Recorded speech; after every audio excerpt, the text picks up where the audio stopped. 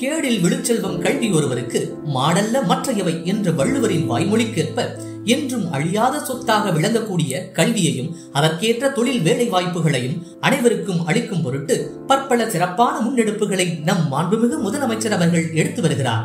அந்த வகையில் மாணவர்கள் மற்றும் வேலை தேடும் போட்டித் தேர்வு ஆர்வலர்களின் திறனை மேம்படுத்துவதற்காக கலைஞர் நகர்ப்புற மேம்பாட்டு திட்டம் உள்ளிட்ட பல திட்டங்களின் நிதி ஆதாரங்களின் கீழ் ரூபாய் நூற்றி தொண்ணூத்தி மூன்று புள்ளி ஐம்பத்தாறு கோடி மதிப்பீட்டில் நூறு நூலகம் மற்றும் அறிவுசார் மையங்கள் மாநகராட்சி நகராட்சி மற்றும் பேரூராட்சிகளில் அனைத்து போட்டித் தேர்வு ஆர்வலர்களும் எளிதில் அணுகக்கூடிய வகையில் நகரின் முக்கிய பகுதிகளில் கட்டுவதற்கு அனுமதி அளிக்கப்பட்டுள்ளன.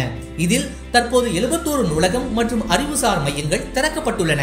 இந்த அறிவுசார் மையங்களில் ஸ்மார்ட் போர்ட் வசதியுடன் கூடிய பயிற்சி அறை இணைய வசதியுடன் கூடிய கணினிகள் போட்டித் தேர்வுகளுக்கான புத்தகங்கள் மற்றும் மாணவர்கள் படிப்பதற்கேற்றவாறு அடிப்படை வசதிகளுடன் காற்றோட்ட சூழலோடு அமைக்கப்பட்டுள்ளது.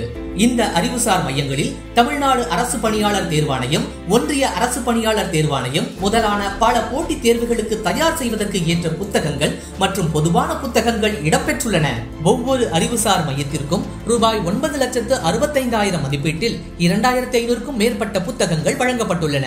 இம்மையங்களில் உள்ள பயிற்சி அறைகளில் வேலைவாய்ப்பு மற்றும் திறன் மேம்பாட்டு துறையுடன் இணைந்து தினசரி பயிற்சி வகுப்புகள் நடத்தப்பட உள்ளது மேலும் பயில வரும் போட்டித் தேர்வு ஆர்வலர்களுக்கு வழிகாட்டும் வகையில் அப்பகுதியில் உள்ள ஓய்வு பெற்ற பேராசிரியர்கள் மற்றும் நூலகர்கள் வழிகாட்டிகளாக நியமிக்கப்பட்டுள்ளனர்.